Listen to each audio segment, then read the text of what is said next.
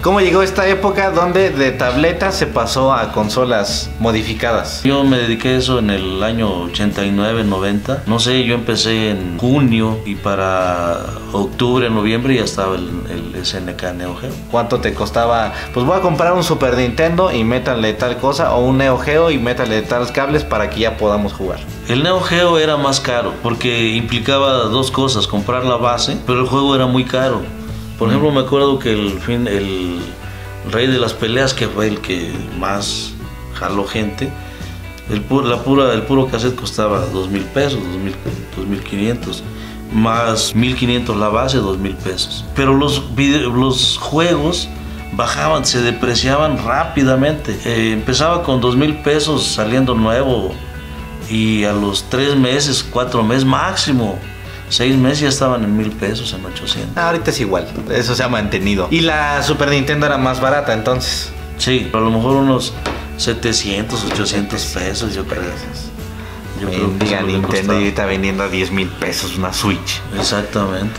Sí, ahí sí ha habido mucha diferencia de precio, porque cuando salió el PlayStation 1, por ejemplo, ese sí ya salió más, más caro, pero un PlayStation 1 estaba nuevo en dos mil pesos, mil quinientos, exagérenle. Pero yo creo que es cuestión del dólar, porque pues en ese tiempo también el peso estaba en cuatro pesos. Estaba decente, estaba Digo, el decente. dólar estaba en cuatro pesos, Cuatro pesos.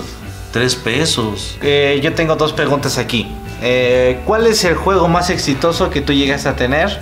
Y más o menos, ¿cuánto fue como que lo máximo que llegaste a ganar? Era variable, pero yo me acuerdo que cuando teníamos los juegos más exitosos en su momento, podías tener una maquinita en un lugar o dos maquinitas que te daban un promedio de entre desde 300 hasta 600 pesos por semana. Por semana. Por semana cada maquinita. Inclusive llegué a tener un tiempo buenísimo. Dejé, me animé a poner tres eh, máquinas en un lugar y saqué entre las 3.200 pesos, algo así en una semana. ¿Cuál fue el juego más exitoso para ti que hayas dicho, no, pues este lo hubiera comprado tres veces y hubiera sido la mejor inversión? Pues el Street Fighter. El Street Fighter 2. El Street Fighter 2. ¿No tuviste problemas con...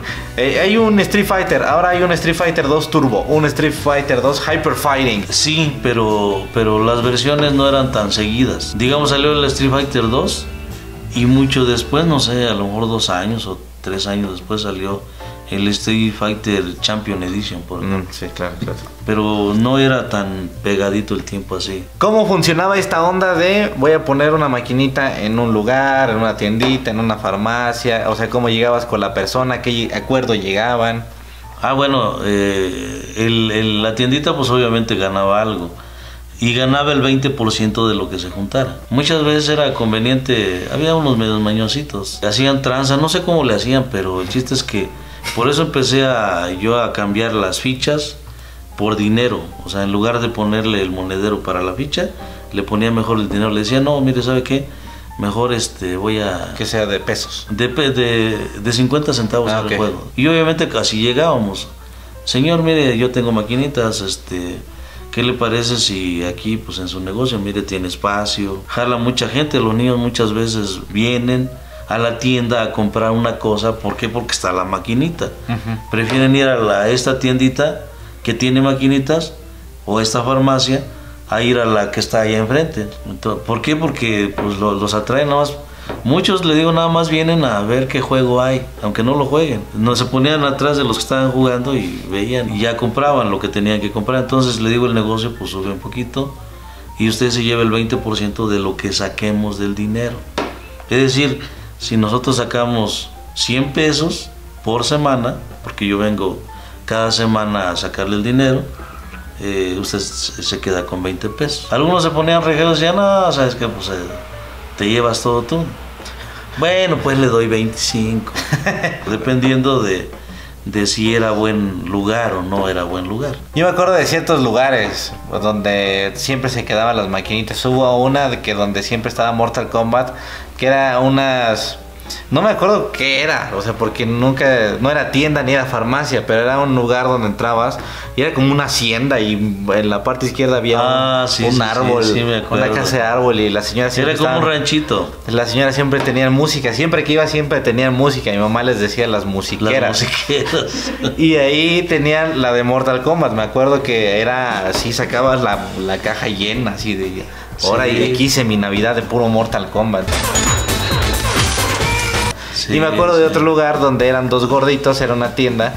Y eh, ahí les decían los paisanos. Ah, sí, me acuerdo, me acuerdo, sí. Estaban dos gorditos. el paisano. Sí, sí, y su hija, era una, después se quedó su hija, se puso medio malito el paisano y, y dejó a su hija.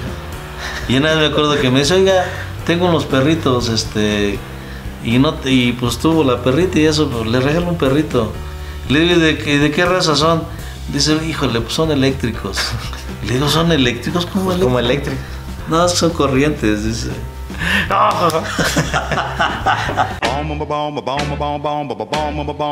Pues bueno, esos eran los negocios más importantes donde tuvimos mi papá también tuvo ese negocio que ahí yo jugaba Capitán Comando y agarraba 50 centavos de la que atendía, creo que era mi tía, ¿no? En ese tiempo ella se encargaba y yo le pedía, oye, dame un frutzi, dame unos chetos, dame 50 centavos para meterle al Capitán Comando. Y ahí fue donde conocí muchos, eh, muchos juegos que, que ahorita pues ya recordamos con mucho cariño. Es que ese era un negocio que nosotros pusimos. Rentamos un local y pusimos puras maquinitas y vendíamos dulces. ¿Llegaste a tener algún altercado como me asaltaron? Sí, sí, sí. Sí. Una- en una ocasión, precisamente tu tía ahí la asaltaron.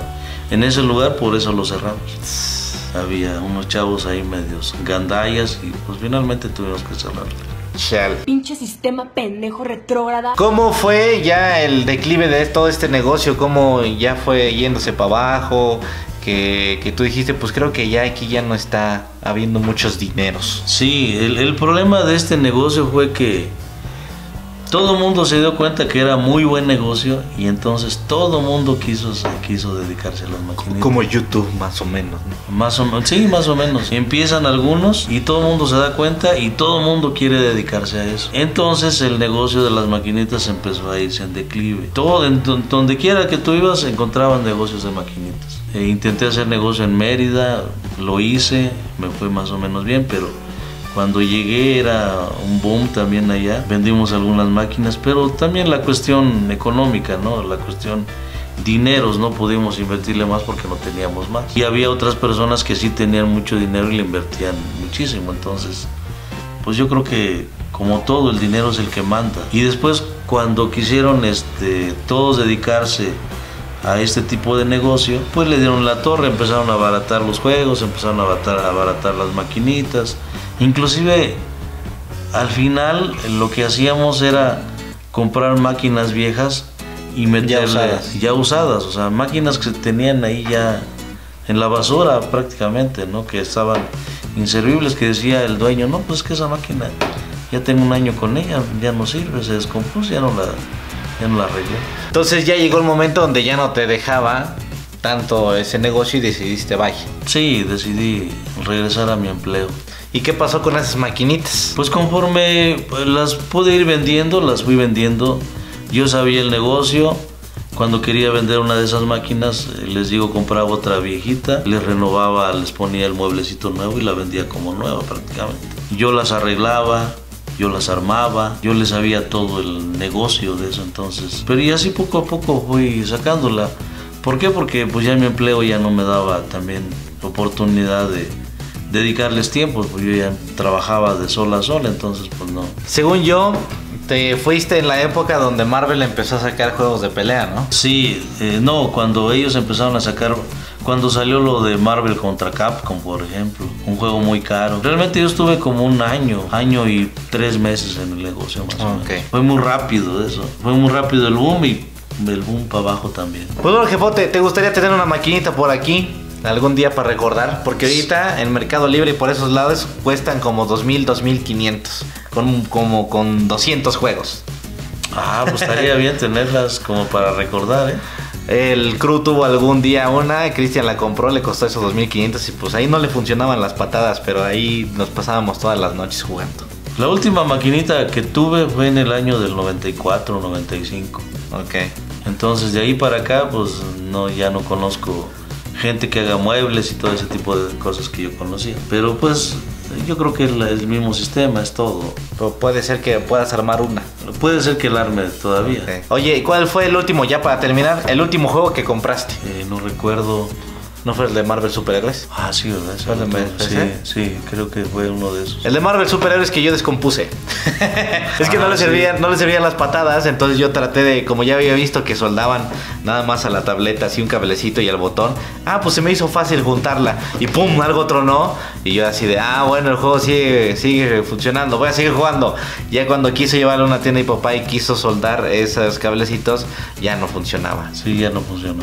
Ya no funcionaba. Esa fue una de las veces que más he notado a mi papá enojado. Pero bueno, pues hasta aquí dejamos este video, gente. Espero que les haya gustado, que este les haya hecho interesante toda esta historia. Y ya me acordé, era original.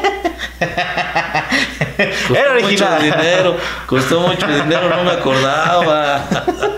Bueno, pero el pasado pasado, ahorita le compramos su máquina con su Marvel al jefote para que no se enoje.